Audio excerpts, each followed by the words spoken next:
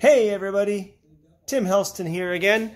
So another modification, as you know, I like to take my dog, Asher. There's Asher. Hi Asher, he's a whippet. He likes to run, but he also loves the PEBL.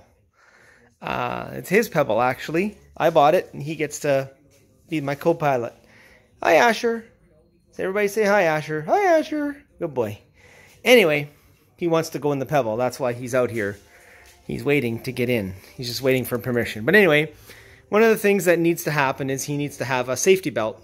So what I did was I have these uh, car safety belts that you use for your vehicle. Uh, this one had a clip that goes into your seatbelt holder, uh, like the seatbelt uh, lock in, but I cut that off with a grinder. And so what I'm going to do is I'm going to basically, I don't know how you'll see this, but I'm going to open up the seat. And inside of here, you'll see, ouch, you'll see the battery section here. Uh, you'll see the batteries here. Anyway, there's this aluminum rail.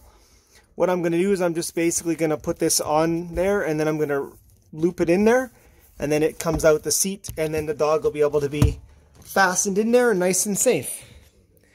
I unfortunately need two hands to do that, so that's the video for now, and I'll show you what it looks like when it's done. Back again. Okay, so what I did was I just basically slid it through here, and then as you can see, I just looped it, and then once that closes, put it out front, close this, and now I can basically still use the buckle part here to lengthen it or shorten it if I need to, depending on the dog. So that's, and then that's their seatbelt. So they basically wear a harness and this just keeps them in the bike. And that's what I've done for that upgrade.